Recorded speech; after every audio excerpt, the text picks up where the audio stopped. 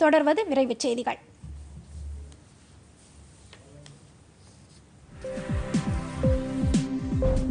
விழுப்புரம் மாவட்டத்தில் தென்பெண்ணை ஆற்றின் குறுக்கே புதிதாக கட்டப்பட்ட அணையின் உடைப்பு சரி செய்யப்பட்டு வருவதாகவும் புதிய புனரமைப்பு திட்டத்திற்கு ஏழு கோடி ரூபாய் ஒதுக்கப்பட்டு விரைவாக செயல்படுத்தப்படும் என்றும் மாநில சட்டத்துறை அமைச்சர் சி வி சண்முகம் தெரிவித்துள்ளார்.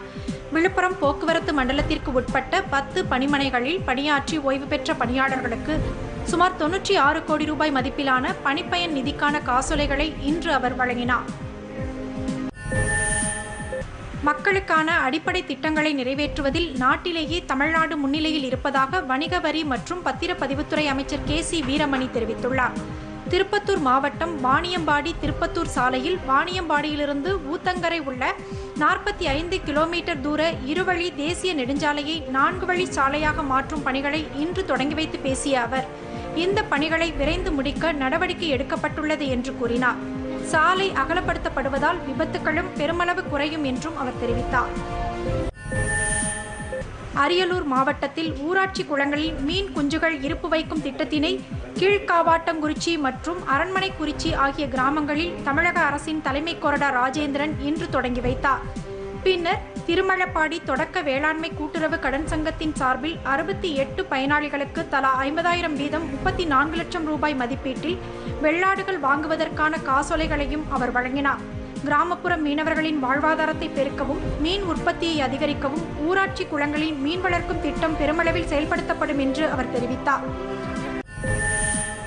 இலங்கை கடற்படையால் சுட்டுக் கொல்லப்பட்ட தமிழக மீனவர்களுக்கு உரிய இழப்பீடு கிடைக்க மத்திய மாநில அரசுகள் நடவடிக்கை எடுக்க வேண்டும் என்று இந்திய கம்யூனிஸ்ட் கட்சியின் மாநில செயலாளர் இரா முத்தரசன் கேட்டுக்கொண்டுள்ளார்.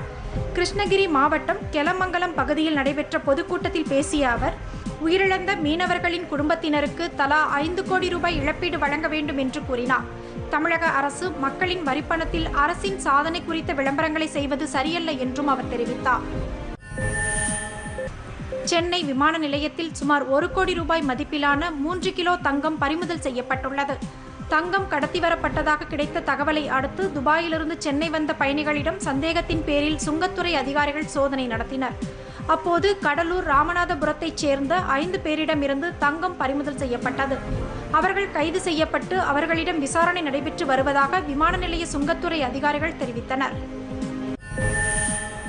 இமாச்சல பிரதேச மாநிலத்தில் தேசிய நெடுஞ்சாலையில் கடும் பனிப்பொழிவு காரணமாக சிஷு என்ற பகுதியில் போக்குவரத்து தடைபட்டுள்ளது.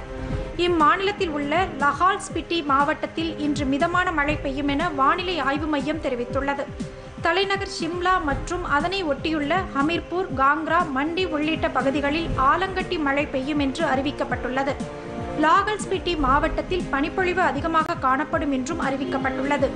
சிம்லாவில் அதிகபட்சமாக ஐந்து புள்ளி ஒரு டிகிரி செல்சியஸ் வெப்பநிலை பதிவாகியுள்ளது. ஜம்மு காஷ்மீரில் பல இடங்களில் கடும் பனிப்பொழிவு நிலவுவதால் பனிச்சரிவுக்கு வாய்ப்புள்ளதாக வானிலை ஆய்வு மையம் எச்சரிக்கை விடுத்துள்ளது. இது குறித்து வானிலை மையம் மஞ்சள் எச்சரிக்கை விடுத்துள்ளது. மஞ்சள் எச்சரிக்கை என்பது மிதமான பனிச்சரிவை குறிப்பதாகும். பூஞ்ச் ரஜோரி ராம்பன் தோடா கிஸ்வார் உள்ளிட்ட பகுதிகளில் இந்த எச்சரிக்கை விடுக்கப்பட்டுள்ளது. குல்காம் அனந்தநாக் பாரமுல்லா குப்வாரா பகுதிகளிலும் பனிச்சரிவுக்கு வாய்ப்புள்ளதாக வானிலை ஆய்வு மையம் கூறியுள்ளது.